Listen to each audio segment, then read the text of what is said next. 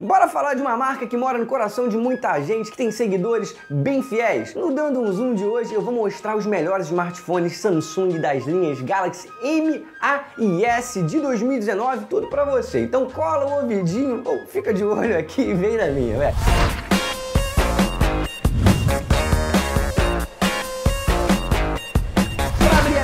Lista a gente vai falar do Galaxy M30. Ele é o smartphone mais bacana da família M da Samsung que veio para substituir os antigos da linha J. É um modelo intermediário que é ideal para quem gosta de passear pelas redes sociais e até para bater aqueles games mais levinhos. E ó, o principal destaque do Galaxy M30 é a bateria de 5000 mAh, Isso sem falar no precinho que tá suave, cabendo tranquilo no bolso. Your phone charged. Your phone charged. And your phone charged.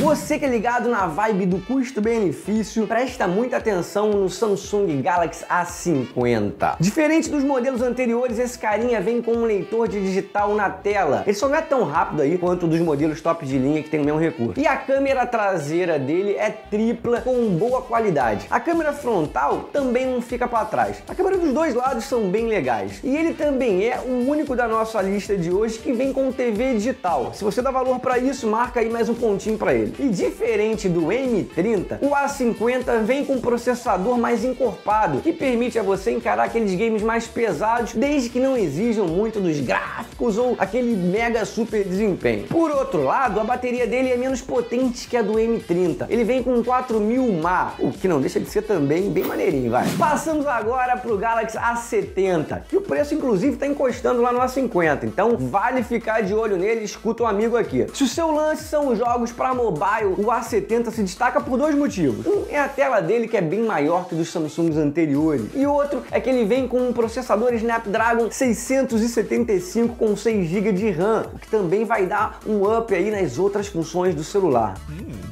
Hum. Agora chegou a vez da gente falar do Galaxy A80. E esse celular, ele tem uma paradinha bem curiosa. Ele não tem o Note, que é aquela gotinha que fica ali na parte superior do aparelho e que guarda os sensores de luminosidade e tal. Isso porque, gente, ele vem equipado com uma câmera giratória. É, bolou, né? Então, deixa que eu explico, ó. A câmera traseira dele gira e se torna a câmera frontal. E essa paradinha vem pra gente com uma lente principal de 48 megapixels. A segunda lente com ultra wide. E a terceira é 3D. E isso ajuda a sacar melhor a profundidade para deixar o desfoque de fundo mais preciso, mais bonitão. Surreal, gente. O processador dele é o Snapdragon 730G, que manda bem demais em games e ele chega chega ainda com nada mais, nada menos que 8 GB de RAM. Ele é uma boa pedida para quem curte fazer umas mídiazinhas, gravar uns vídeos para os stories, até mesmo para quem quer produzir conteúdo.